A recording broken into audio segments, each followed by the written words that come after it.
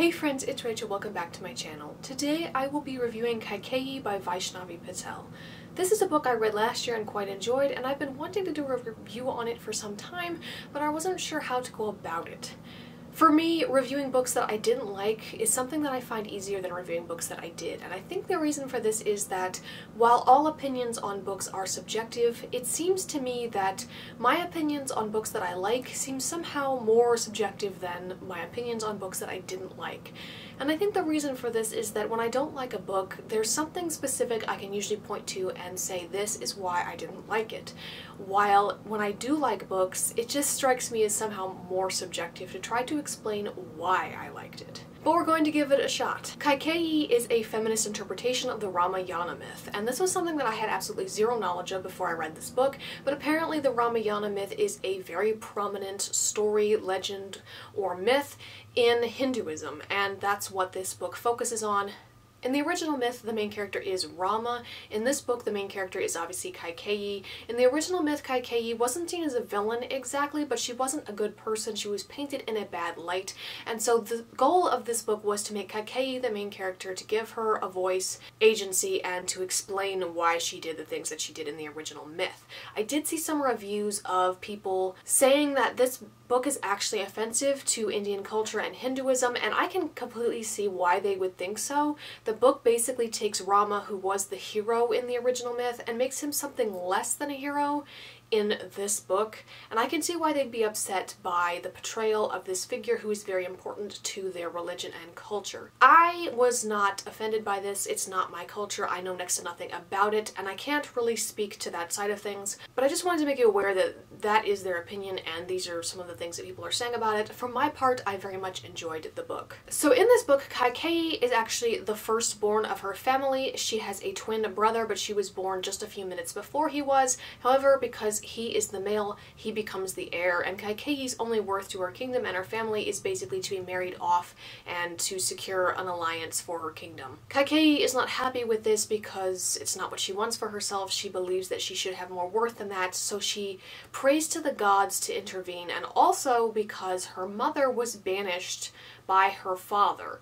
And this is obviously very distressful for Kaikeyi and her siblings because they're young and they don't understand why their father would do this. And they feel abandoned by their mother. So Kaikeyi prays to the gods not only to help herself but to help her mother, bring her mother back to her. But the gods never seem to listen to Kaikeyi's prayers. So she goes off in search of some sort of answer, maybe a new god that she's never prayed before who might answer her prayers. And in her search, she discovers a kind of magic that is completely hers alone, and it's the binding plane. And this manifests itself as Kaikeyi can see visible physical representations of the bonds she shares with others, the relationships they have, in the form of strings. And she can tug on them and manipulate them that way. These bonds are obviously invisible to everybody else. I thought this magic was really interesting, and given how Kaikeyi is portrayed in the original myth, I kind of thought that at the beginning as a child she would use the binding plane kind of from a naive standpoint without really realizing what it is she's doing, and then as she grew older we would see the more narcissistic manipulative side of her come out.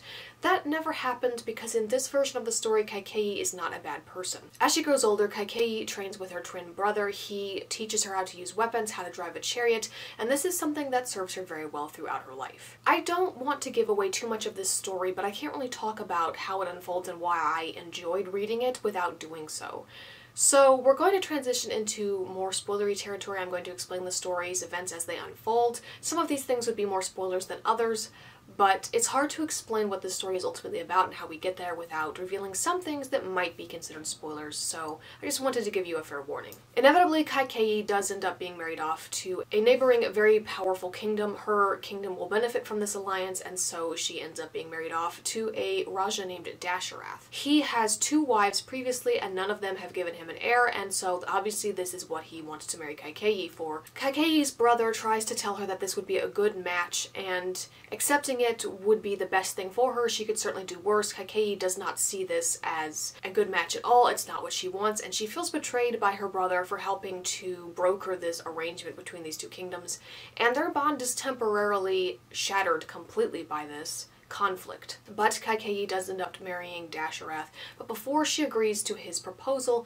she makes him promise that if she bears him a son, that son will become heir, and Dasharath agrees. Kaikeyi goes to stay at his kingdom with his other two wives, Kaushalya, who was the first wife, and Sumitra, who was the second. At first, Kaikeyi finds it very hard to fit in in this new world, with these other women. She's mostly grown up around her brothers, and so the relationship between these other two wives who came before her is a little bit strained at the beginning, and Kaikeyi is unsure of her place and where she fits into this whole thing. But what I found really reassuring and nice was the relationship that Kaikeyi forms with Kaushalya and Sumitra. It was really wholesome and just like this sisterly bond that they share. I feel like too much of the time women in real life as well as in fiction just tear each other down all the time. They look at each other as rivals. In this case, they could have looked at each other as rivals for Dasharath's affections, but instead they banded together, and I really liked their relationship. Throughout the course of her time in this new kingdom as Dasharath's wife, Kaikeyi ends up going to war with him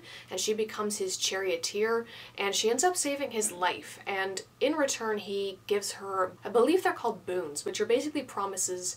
They were gifts, if I understand correctly, that were granted to him by the gods and now he's giving them to Kaikeyi so he's honor bound to basically give her whatever she wants when she asks for them. This obviously gives Dasharath a new respect for Kaikeyi. Not only did she go into battle with him and performed admirably, but she also saved his life. And so not not only does he give her these boons, but he becomes to trust her more and more. He confides in her, he promotes her within his court, and he gives her the power and autonomy that she's been searching for her whole life that most women simply do not have. And this is where a little bit of the feminist messaging comes in I don't think it's too much. I think that any messaging of any kind can easily become too much and the story can be lost in it. But I thought that it seemed very realistic given the time period. Obviously this is a fictional story, it's not real people. But throughout history, most cultures and kingdoms have been patriarchal and women have had very limited rights. They were given very few options as to what they could do with their lives and who they could be, and so I thought it was realistic that Kaikeyi would seek out power for herself to protect herself, and then want to use it to help her fellow women in the kingdom who might not be so lucky to be a Raja's wife. I really enjoyed seeing Kaikeyi grow into these roles and come into her own and help other women. I just thought that it was a good message. As time passes, Dasharath still has not gotten an heir, and he comes to realize that the problem may not lie with his wives, but with himself. So Agni, the fire god, intervenes, and through his intervention, soon all three of Dasharath's wives end up giving birth to sons. Sumitra has twins, Kaushalya gives birth to Rama, and Kaikeyi has a son named Bharata. According to the promise that Kaikeyi extracted from Dasharath, Bharata should become the heir even though Rama was born first out of all of the sons, and at first it seems like that is what's going to happen, but as time goes on, it becomes clear that Rama is more than what he seems. Kaikeyi vowed that all of the women would work together to raise these boys and that they would raise them to respect women and treat women correctly. However, despite her best efforts in teaching, Kaikeyi soon realizes that Rama has developed some pretty disturbing views about women and their place in the world, and this influence has come from a priest. And Kaikeyi ends up convincing Dasharath to have this priest dismissed, but he ends up inevitably finding his way into Rama's life and influencing him. It turns out that Rama is not a normal human being. He is a god in human form. He is an avatar of Vishnu who has come to the mortal world to rid it of evil. And because he is a, in fact a god, he's struggling with this, he's struggling for his divine purpose, his quest, why he is here, and so that's why he gravitates towards this priest, and this man has this influence over him because he is a priest, and Rama is a god. Because Rama is a god, he inevitably becomes the one that is looked to to become the heir, and Dasharath informs Kaikeyi that he intends to break his promise to her Bharata will not become heir, it will be Rama. And the people want Rama to be the heir. He is the perfect candidate for it, he would be a strong leader, and so the wise thing to do in Dasharath's opinion is to abdicate the throne and Rama take his place. Kaikeyi is obviously disappointed with this decision, but she initially goes along with Dasharath's wishes because she believes that this is in fact the right thing to do. However, Rama still has troubling opinions on women and this gives Kaikeyi doubt and some pause. To make matters even worse, when her twin brother, who is now ruler of their kingdom back at home, learns that Dasharath broke his promise to Kaikeyi. Her brother views it not just breaking the promise to her, but also the promise that he made to their father when Dasharath promised to marry Kaikeyi initially.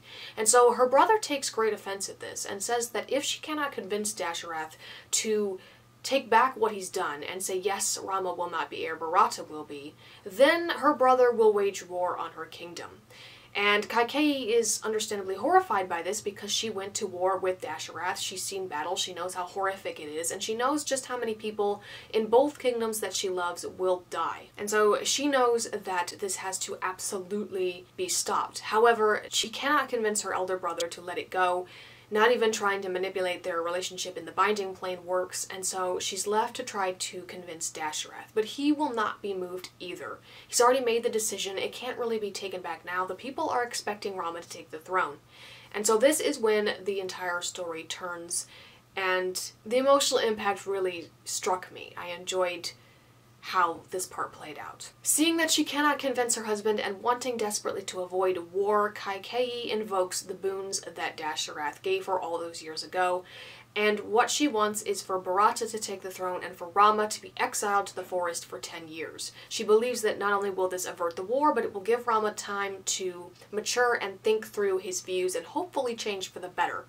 Obviously, this does not go down well. It completely shatters her bond with Dasharath, which is very sad because he was a good man, he treated her well, and now he hates her and sees her as nothing more than a scheming hag, basically. Like, this is what she wanted all along, power for its own sake, and she never really loved him, and it's really tragic. She is basically dismissed from all of the councils on which she sat. She grudgingly got respect from the people in those councils over the years by proving herself, and now she's just undone all of that progress in the span of one day. She is reviled throughout the kingdom and hated for what she's done. People don't know the real reason for which she did this. She's seen as just jealous. She wants her son to be heir. She hates Rama for no reason.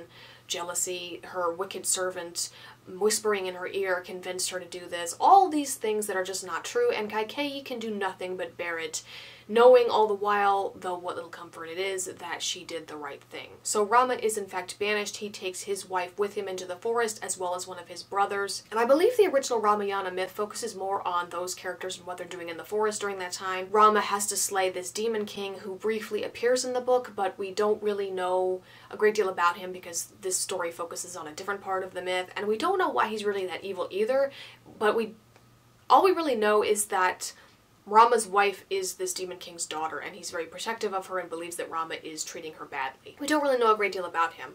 For my part, what I saw of him in the book I liked, but I assume that that's kind of what you're supposed to think. He's this evil demon king, of course he would be charming and manipulative, and you wouldn't suspect him. But regardless. Sadly, Kaikeyi's relationship with Sumitra is also ruined. The only one that really cares for her still is Kaushalya, surprisingly enough. Her relationship with her brother eventually is repaired, but all of that goes wrong. There is still a battle, there's still loss of life, and Kaikeyi was unable to completely avoid the thing that she wanted not to happen. Her relationship with many of her advisors, her friends, are destroyed. Her relationship with her husband is destroyed. Sumitra hates her. The only person who really doesn't hate her is Kaushalya, and even her own son Bharata hates her for what she's done because of the influence that Rama has over him. Eventually he does break free of this and he comes to realize how wrong he was and they kind of reconcile but it's just kind of sad. It's sad that things had to play out the way that they did. And the end of the book basically is that Kaikeyi is obviously not thrilled about the way things played out, but she knows she made the right decision, and she also acknowledges that one day this will be seen as Rama's story, and her part in it will not be remembered, or what will be remembered won't be remembered very fondly, but she's okay with that, because before this was Rama's story, it was her story. So overall, I just really enjoyed this book. I liked the world building. I liked how different it was from everything else that I read. I would have liked a little bit more explanation about the gods and their powers and the magic and how it works, as well as the demon-like creatures, because I simply don't know a lot about Hindu mythology or religion. I don't think it's one of the belief systems that gets a lot of attention when compared to Greek mythology.